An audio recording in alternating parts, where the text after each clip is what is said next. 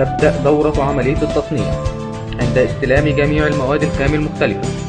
يتم عمل التحاليل اللازمة لها في قسم المعمل الخاص بالشركة للتأكد من مطابقتها للمواصفات القياسية الصحية التي حددتها وزارة الصحة ومطابقتها أيضا للائحة الداخلية الخاصة بالمصنع. وعند التأكد من سلامة المادة الخام يتم السماح بدخولها لمخازن الشركة وتخزينها في ظروف صحية. لحين استخدامها في العملية الإنتاجية.